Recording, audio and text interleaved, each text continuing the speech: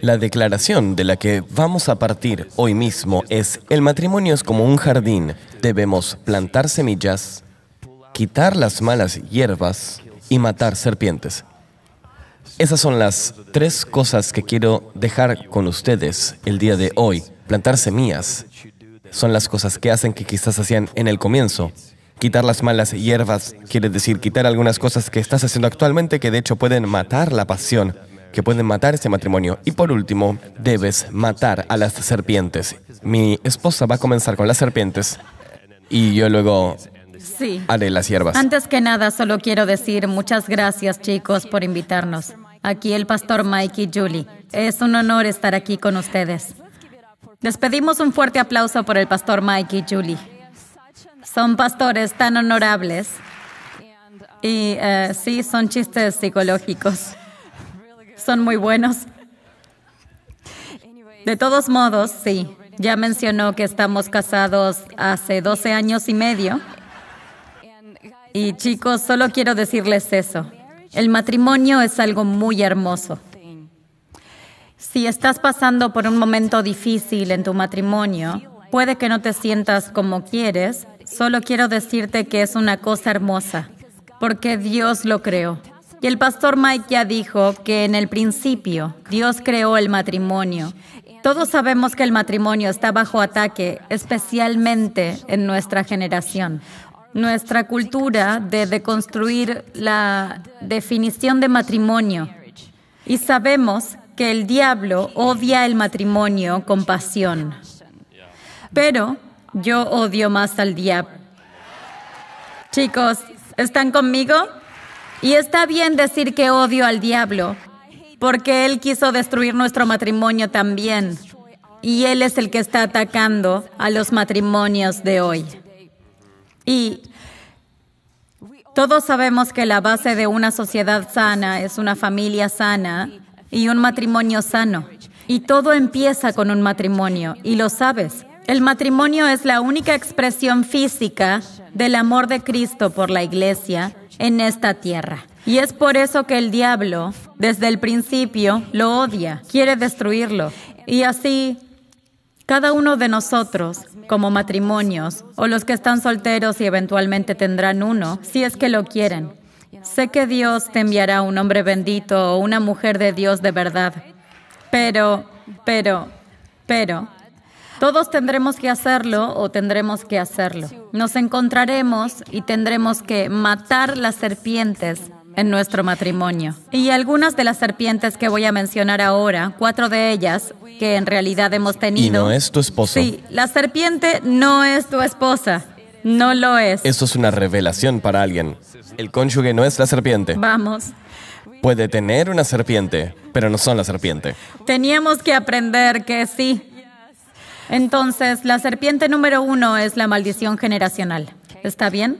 Si tú tienes un matrimonio, y les contaré un poco de mi historia ahora mismo, la serpiente número dos son los demonios, como el demonio del rechazo, el demonio de la soledad. Y el espíritu de la soledad no aparece solo si no puedes conseguir un matrimonio. El espíritu de la soledad puede golpearte si te sientes lejos de tu cónyuge. Y también el espíritu de la ira, el pastor Mike golpeando paredes. Gracias a Dios por librarnos de eso. Un cazademonios. También la pornografía y esposas espirituales. Sí. La serpiente número tres, resistencias en nuestra mente. Por eso hay que renovar nuestra mente, eso nos enseña la Biblia. Y la serpiente número cuatro es abuso o lidiar con el dolor del pasado. Cada uno de nosotros o tendremos que hacerlo o estamos lidiando con el dolor del pasado. Espero que lo estén solucionando. Y esto es lo que pasó cuando nos casamos con Vlad. Teníamos las cuatro, ¿ok? Las cuatro serpientes que tuvimos que matar y Vlad tuvo que aprender que yo no soy la serpiente. Y saben, el diablo es tan astuto que es la serpiente y es convincente. Me convenció de que yo era la mala persona, que estaba sintiéndome rechazada, sentía soledad, estaba deprimida.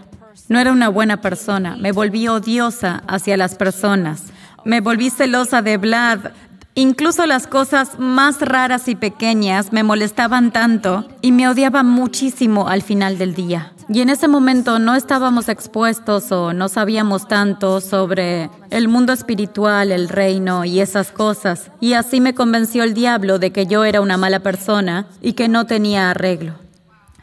La pasamos mal, tuvimos pesadillas a la noche en las que estaba paralizada y me despertaba gritando. De hecho, Vlad me despertaba porque yo gritaba, el diablo me atormentaba la noche y cuando me despertaba en la mañana eso afectaba nuestra relación, afectaba nuestro y lo matrimonio. que comenzó a pasar es, a la edad de 24 años nos casamos. Yo me mantuve puro hasta el matrimonio. Sabes, mi esposa, ella tenía un pasado. Nos casamos. Yo elijo no mirar al pasado, no traer nada de eso de vuelta, pero ahora tengo estos problemas y el diablo empieza a plantar semillas. Tú has cometido un error. Deberías haber esperado. Tendrías que haberte casado con alguien más. Y estos pensamientos venían. Y no dejaban que enraícen en mi mente, pero venían. Y porque no hacíamos todavía guerra espiritual en vez de luchar demonios, Sí. nos luchábamos entre nosotros. Y al principio, yo estaba luchando con ella y decía, vuélvete mejor. Nuestro consejo pastoral favorito es salte.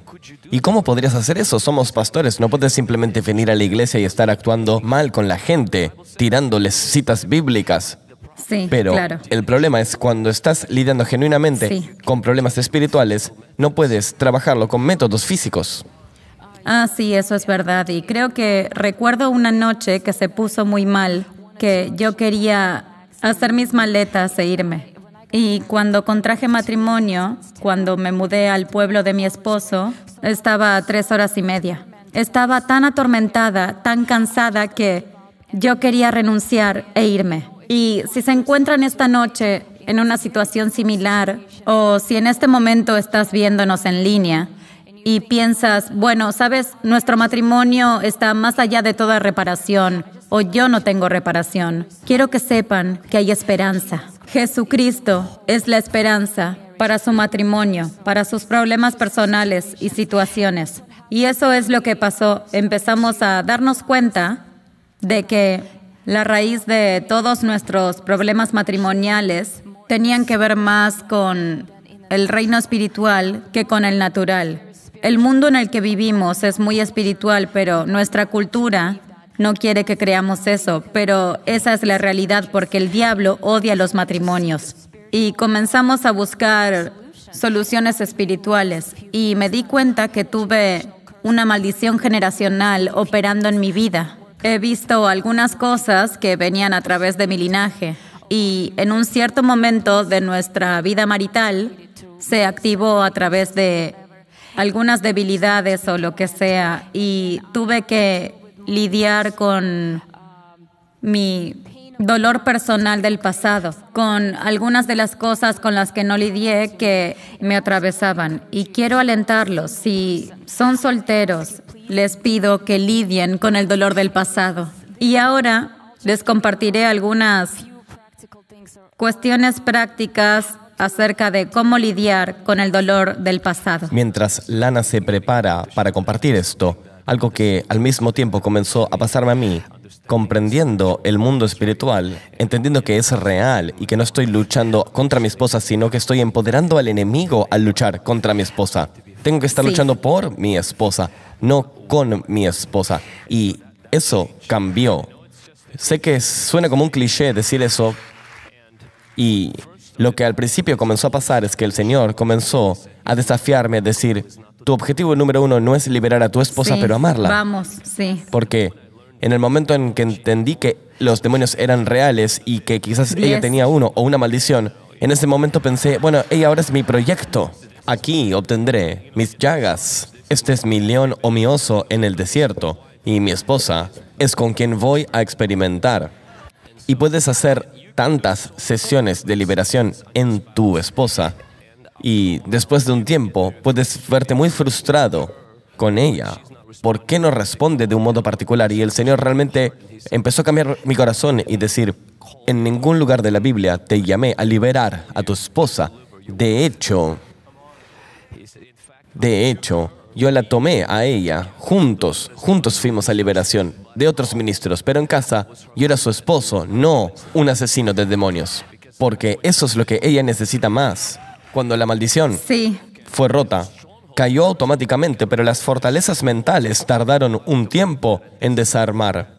Y esto es lo que el Señor me tenía que enseñar a mí para poder ser el marido correcto. Yo estaba muy enfocado en mí mismo y pensaba que porque yo era virgen, sabes, en el momento de la boda, que esto de algún modo me daba la autoridad para ser malo, para ser de mala actitud, para ser impaciente. Y toda esa santificación me tomó mucho tiempo, tuve que atravesar mucha rotura. Estaba más preocupado por cómo me veía la iglesia que por quién era para mi esposa. Fuera de eso. sí. Y de hecho, lo que es interesante es que cuando él comenzó a cambiar en la manera en la que se acercaba a mí, mientras yo lidiaba con mis cosas, y él me ayudaba en vez de convertirse en mi enemigo, y me di cuenta de que solo tenemos un enemigo, y es el diablo. Y cuando él se dio cuenta de eso, cuando lo pudo ver, aquí es cuando yo tuve más fuerza para pelear por mí misma y por mi libertad. Así que si tú eres un esposo o una esposa o tienes un esposo que está lidiando con esto, no hagas que sea tu enemigo.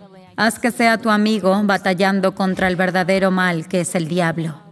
Con respecto a lidiar con el dolor del pasado, no lo culpes y batalla contra él. Todas las veces que necesites, cuando te des cuenta de que es una maldición generacional, no debes empezar el juego de la culpa, culpar a tus padres o abuelos. Quizás ni siquiera comenzó con ellos y no es su culpa. Así que no caigan en el juego de la culpa. Solo tomen esa información. Saben, tengo una maldición, Vamos. déjenme romperla en nombre de Jesús. Oigan, no se mediquen con drogas, sexo o lo que sea. No lo motiven al trabajar en ustedes hasta la muerte y no lo mediten al pensar en eso todo el tiempo. Lo que tienen que hacer con el dolor del pasado es enfrentarlo. Significa que lo están reconociendo en ustedes, que esto sí pasó, ¿ok? Perdonen a las personas que los lastimaron. Y sé que esto es grande y que puede ser muy difícil, pero liberar culpas es crucial. Sigan a Jesús. Es lo que tuve que hacer y fue muy doloroso. Lidiar con mi dolor personal del pasado. Yo tuve que atravesar el dolor para seguir a Jesús y solo el Espíritu Santo y su presencia me curaban cuando escuchaba sermones acerca del Espíritu Santo experimentando su presencia en mi cuerpo físico. Lo sentía capa por capa. Él me quitaba el dolor, me limpiaba, me purificaba. Él curaba mis heridas. Y lo último que les digo es, busquen ayuda profesional. Esto es algo crucial. Vamos. Gracias.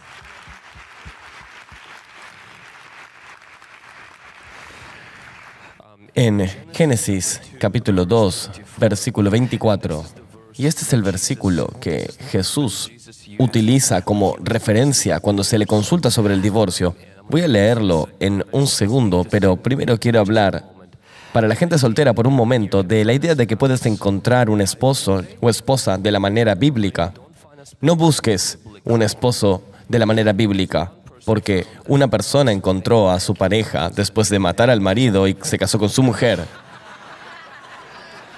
Otra encontró un prisionero atractivo de guerra y lo trajo a casa, lo afeitó, le cortó las uñas, le cambió las ropas y ahora se volvió su esposo en Deuteronomio 21. Algunos de hecho tomaron una virgen que no había sido dada a otro hombre y luego le dieron a su padre una suma de dinero. Otros encontraron una prostituta y se casaron como Sí. Osea. Moisés simplemente fue y encontró un tipo con siete hijas, lo impresionó al bañar a su ganado y se casó con la esposa. Uno compró una propiedad y tuvo a una mujer como parte del trato. Otro acordó a trabajar por siete años. En cambio, de la mano de la mujer en matrimonio, fue engañado para casarse con la mujer equivocada. Luego trabajó por otros siete años y se dio cuenta que ahora tenía dos esposas. Otro fue y simplemente mató 200 personas y se casó con la hija. Así que si ves la Biblia, si algún pastor te dice que hay una manera bíblica de encontrar a una pareja, no quiero que termines por esto en prisión. Y podrás decir, ¿qué manera entonces? La manera de Génesis. Jesús dijo, en el comienzo, todo en los primeros tres capítulos, dos capítulos de Génesis, es de la manera de Dios. a partir del tercer capítulo todo es malo. Así que no tomes citas directas a partir de Génesis 3. En Génesis 2 y Génesis 1, para quienes son solteros, quiero que noten que Dios creó a un hombre y una mujer. Eso quiere decir que el matrimonio es entre un hombre y una mujer. Tenemos que decir eso hoy por hoy. Y segundo, la Biblia dice que Dios le dio a Adán la idea de que estaba solo, lo cual me dice si tú te pasas diciéndole a Dios que estás solo, algo está mal. Adán estaba tan perdido en la presencia de Dios sin tener a otro humano ahí que nunca se había dado cuenta que estaba solo. Era Dios quien tuvo que recordarle.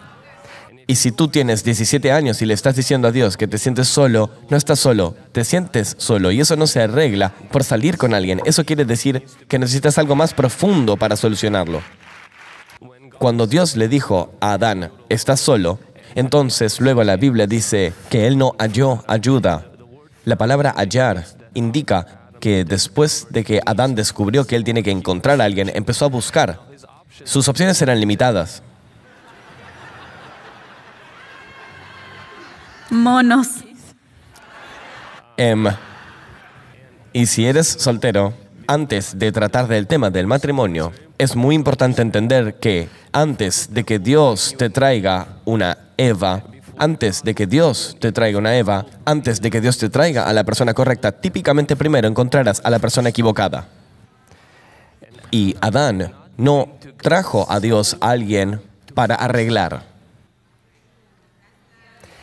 Esto es cuando sabes que la persona con la que estás hablando ahora es la incorrecta si ya son parte de tu grupo de intercesión, de tu grupo de intercesión, tu lista de plegarias. Sé que él está fumando, pero él está sensual. Está caliente y sensual. Y debes entender que el infierno es caliente también y no quieres ir ahí. Quiero darte el coraje para no asentarte con alguien para que Dios arregle. Es mejor que esperes a que Dios te traiga a alguien que ya está reparado para ti. Y ahora puedes oír nuestras historias y dirás, wow, esto es genial para la santificación para nosotros. Estamos compartiendo esto para que puedas comenzar por donde nosotros terminamos. Y luego la Biblia dice que Adán honestamente vino a Dios y dijo, Señor, no pude encontrar a nadie. Y luego el Señor le trajo a alguien que Dios preparó para él. Así que quiero darte el coraje a aquellos que están todavía en ese proceso, en esa búsqueda, que esperen a Dios, esperen a sus tiempos. Es mejor esperar para los tiempos de Dios a que Él te traiga a la persona correcta que esperar a que Dios arregle a la persona incorrecta que tú le trajiste a Dios en vez de esperar. Vamos. Vas a esperar de todos modos. Es mejor esperar en ese estado. Amén. Entonces cuando Adán se casa con su mujer, Eva, Luego Dios le da la instrucción y yo diría honestamente, esto es un mapa para todo matrimonio. Ha sido un buen mapa, es un buen lugar a donde yo voy todo el tiempo a chequear mi matrimonio a través de este filtro y esto es Génesis 2, versículo 24. Por tanto, el hombre dejará a su padre y a su madre y se unirá a su mujer y serán una sola carne. Es interesante notar que desde el comienzo Dios ubica más énfasis en un hombre que una mujer. Es importante entenderlo. Son iguales hombre y mujer en dignidad, en valor, pero no son equivalentes en responsabilidad. Sé que nuestra cultura lavó los roles de género, pero hablando desde las escrituras, si eres un hombre, no importa si eres un pastor o incluso quizás si no eres súper espiritual, hay más peso que está puesto en ti. Quiero que notes esto. La Biblia nos dice si una mujer deja a su padre y su madre. Si un hombre deja, un hombre persigue. Y luego ellos, no solo él, pero ellos se convierten en una carne. Yo veo en ese versículo que el matrimonio tiene tres principios. Dejar, unirse y convertirse. Si están tomando notas, anoten esto ahora mismo. Dejar habla de prioridad. Unirse es una búsqueda y convertirse es un proceso. Dejar quiere decir, por supuesto, ahora la pequeña aplicación significa que no vivas con tus padres, sal de la casa de tus padres y eso está bien. No hay nada malo con eso a menos que no tengas dinero y necesites vivir en lo de tus padres por una temporada. No hay nada malo con esto. De hecho, nosotros vivimos con nuestros padres por dos meses en el sauna, de hecho, antes de que lo terminaran, porque estábamos remodelando. Para quienes están viendo, gracias por dejarnos vivir ahí. Y vivimos ahí por un pequeño tiempo. Pero dejar para un esposo y también para una mujer habla de algo mucho más profundo. Yo creo principalmente no es solamente asegurarte de dejar a tu familia. Para alguna gente, su padre o su madre son, por ejemplo, su golf. Su padre o su madre son su red social. Quiere decir, el matrimonio nunca funcionará hasta que no dejes algo. No puedes experimentar los beneficios del matrimonio y todavía disfrutar los beneficios de ser soltero. Algo hay que dejar. Algo tiene que ser sacrificado. Miren a nuestro Salvador. Él dejó el cielo antes de él poder encontrar a su esposa. No puede haber unión sin dejar primero algo antes. Y cuando estamos en una época de citas, viene muy naturalmente. Estamos dispuestos a quemar el mundo hasta el suelo, solo para finalmente asegurar esta relación. Y luego cuando nos casamos, las cosas se vuelven un poco diferentes. Y algunas cosas para mí que yo tuve que dejar son honestamente ser capaz de ser independientes no tener a nadie que nos diga qué hacer. Yo era un pastor joven ya cuando me había casado y tenía todo mi mundo en el que vivía, estaba protegido y asegurado, y ahora viene alguien más que tengo que consultar, alguien más cuyos sentimientos tengo que considerar, alguien más a quien tengo que esperar para que se sumen a mis planes, y se volvió frustrante al punto en el que todavía quería vivir como un hombre soltero, pero disfrutar los beneficios de una vida marital. Y aquí es donde simplemente no funciona. El segundo principio del matrimonio es unirse. Nuevamente, no tienes que enseñarle a un hombre a perseguir a una mujer cuando están teniendo citas, pero por algún motivo, este hombre cuando se casan, automáticamente se vuelve tonto. Y cuando digo un hombre, me refiero a mí mismo también, como vago. Y señoritas, si alguna está soltera ahora mismo y esta persona no te está buscando, no es porque tenga un problema de personalidad, simplemente no le gustas. Y voy a decirte algo sobre los tipos. Si les gusta algo, se deslizarán por una montaña de navajas, nadarán en un mar de limón, sudarán y se sacudirán. E incluso si son tímidos, crónicamente tímidos, crónicamente nerviosos como yo era, encontrarán una manera para hacerte saber que están obsesionados contigo y lo único que piensan es en ti. Y si esa persona no tiene eso, quiero decirte, si tú, tú lo sientes, ni siquiera estás casado y ya sientes eso, corre. ¿Por qué? Porque la Biblia dice que un hombre persigue. Ahora, el problema sucede cuando tú te casas, y es interesante, Jesús dice que, también se repite en este versículo, dice, un hombre debe dejar a su padre y a su madre y buscar a su esposa. Y yo recuerdo, una vez el Señor me reprendió y me dijo, cualquier chico puede perseguir una novia, pero solo un hombre persigue a su esposa. La búsqueda viene fácil cuando tú estás en citas porque los tipos somos movidos por objetivos. Yo soy una persona que se mueve por objetivos y cuando yo no la tenía, ella era mi objetivo. Entonces, cuando yo la obtuve, ella se volvió mi trofeo. Lo que significa que eso me vuelve disponible para ir a buscar otros objetivos, no hablando de mujeres, otras cosas como el ministerio, éxito, bendiciones.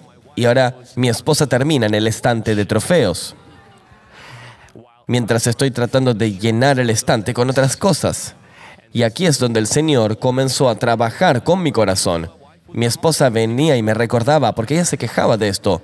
No me mandas emojis. Y le dije, perdóname, emojis. ¿Qué, qué clase de acusación es esa? Y recuerdo que ella me dijo, cuando estábamos saliendo siempre me enviabas emojis. Y fui directo al punto. Pasó de verdad. Y yo pensaba, recuerdo que pensaba, por Dios, tienes razón. estaba mucho más intencionado en comunicarme contigo, las flores, tener intención, abrir la puerta del auto, saber, dicen que hay dos razones por las cuales un hombre le abre la puerta del auto a una mujer. La primera es porque es un auto nuevo y la segunda es porque es una nueva esposa. Y, y esas dos cosas cayeron duro en mí, porque al comienzo era fácil y cuando nos casamos me empecé a volver más vago y empecé a dar por sentado a mi esposa. No hacía nada malo, pero me volví muy enfocado en mi ministerio y yo esperaba que ella comprendiese que yo estoy sirviendo a Jesús y que mi búsqueda de Jesús, ella la compensaría por mi falta de búsqueda a ella. Pero las mujeres solo se sienten amadas cuando son buscadas. Y eso es una verdad atemorizante. Cuando una mujer no es buscada, no se siente amada. Y cuando no se siente amada como hombre, esto simplemente está mal. Entonces, no es solamente algo que el Señor quiere que hagamos. ¿Sí? ¿Todo lo que quieras agregar a esto antes del número 3? Continúa. Sigue hablando. Y la tercera, entonces volvemos. Primero dejar, unirse y la escritura dice, y que puedan convertirse. La parte de convertirse es el proceso de convertirse en uno. En el comienzo, cuando estábamos casados, mi objetivo es que ella se convirtiese en alguien como yo. Nos convertiríamos en uno, quiere decir ella se convertiría en mí. Y yo soy el gran hombre de Dios, ungido, y usualmente... Y en general el que tiene la personalidad más fuerte es el que absorbe al otro. Y entonces comencé a tener ciertos hábitos que yo pensaba que eran divinos, como estar súper limpio. Obsesionado con la limpieza. Sí, y yo tenía extremas, despertarme muy temprano en la mañana, ayunar. Hay muchas cosas que estoy pensando, wow, encontré a esta mujer, yo pienso que voy a disipularla y hacerla parte de mi discipulado. Y, y haré que ella esté a mi imagen y semejanza. Nos convertiremos en uno, quiere decir, en mí. Porque yo me he estado preparando para esto. Ella no se da cuenta, aunque ella es la hija de un pastor, pero todavía no ha encontrado un hombre de Dios aún. Yo soy el hombre de Dios. Ella se va a convertir en mí. Sabes, los opuestos se atraen y luego los opuestos se atacan en el matrimonio. Y, oh, esto fue tan doloroso, una dolorosa lección. Tuve que aprender que el Señor no me había dado una unción para hacer a mi mujer una versión femenina de mí. Mi esposa no es como yo. Y cuando me di cuenta que no podía cambiarla, entonces comencé a avergonzarla. Yo vendría después de mi oración de dos horas. Yo me había despertado a las cinco. A las siete de la mañana decía, bueno, ya estoy listo. Y hice mis devociones, oré, fui al gimnasio también. Yo vengo y recuerdo este momento particular en que mi esposa simplemente está despertando. Y yo estaba, ¿cómo te atreves? Y yo pensaba, pero solo son las siete. Y yo estaba como, ¿qué estás haciendo? Pensé, vamos, ¿a dónde vas a realmente aumentar? ¿Cuándo vamos a hacer esto juntos? Y luego empecé a darme cuenta que mi objetivo era convertirla en una persona de la mañana y yo esperaba que esto pase y yo era muy consciente de cuánto todo costaba al comienzo de nuestro matrimonio porque éramos muy pobres, entonces yo iba a la tienda y no compraba muchas cosas hasta ver los precios. Mi esposa compra cosas, las trae a casa y luego revisa el precio.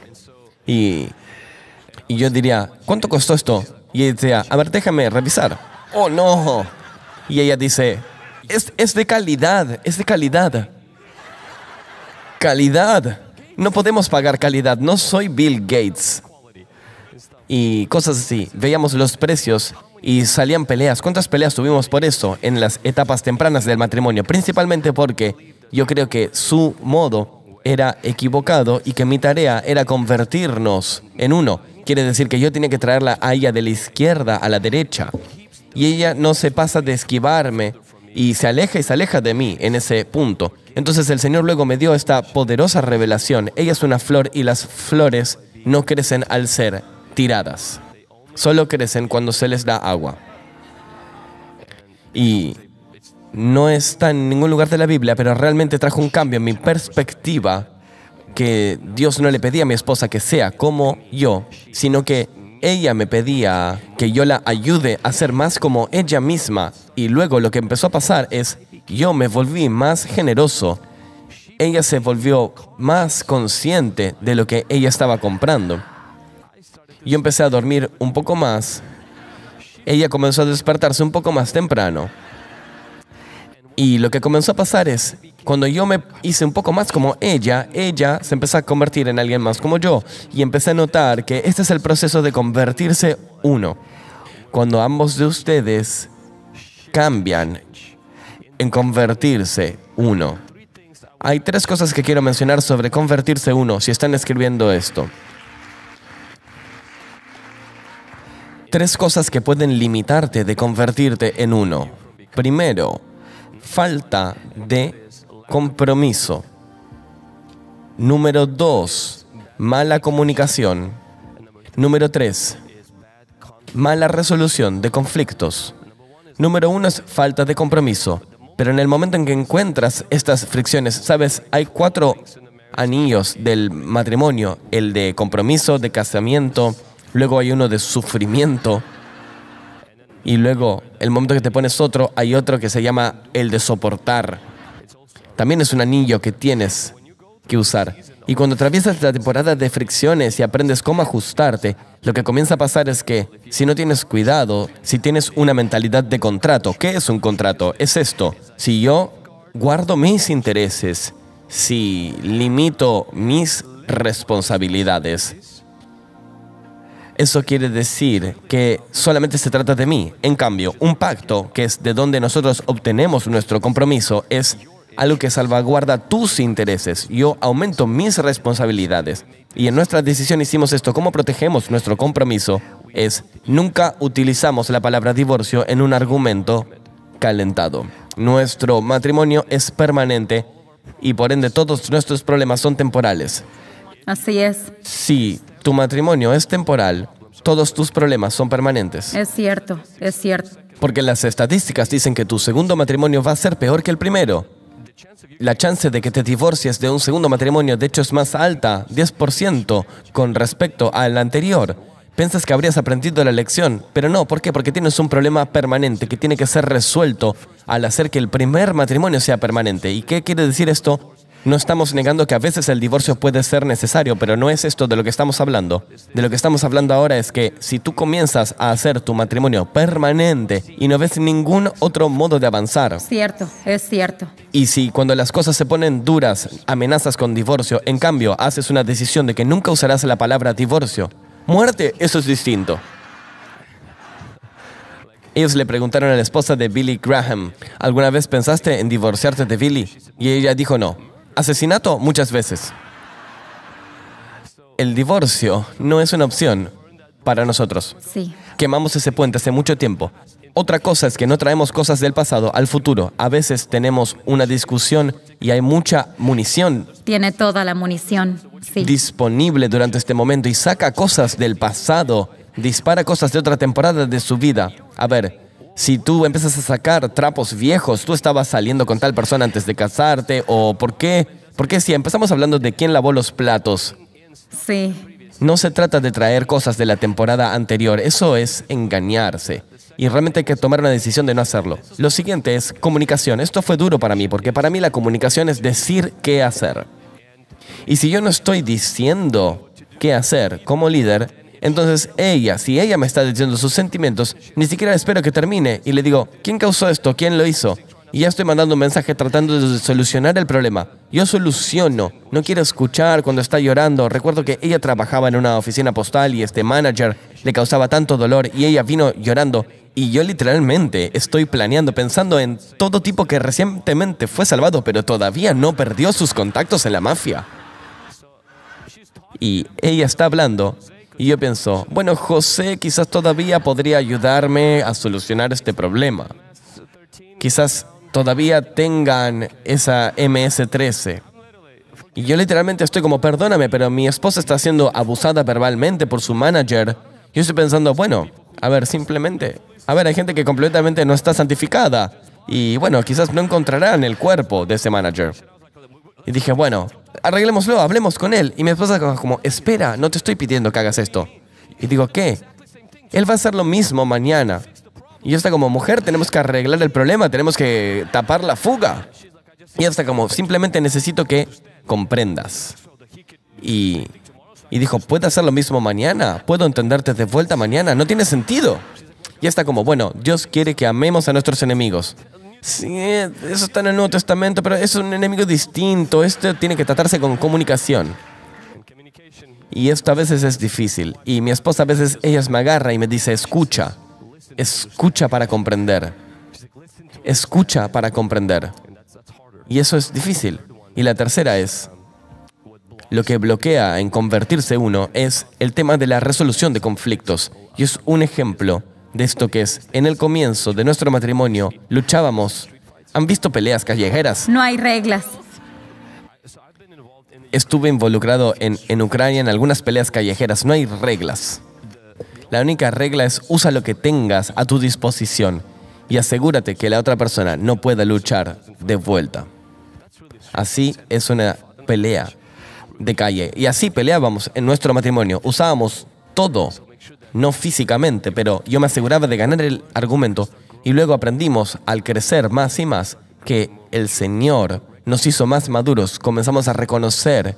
¿Han visto boxeo? El boxeo es un deporte, no es lucha de calle. Hay reglas, hay ciertos lugares donde no puedes golpear, después de ciertas veces no puedes luchar.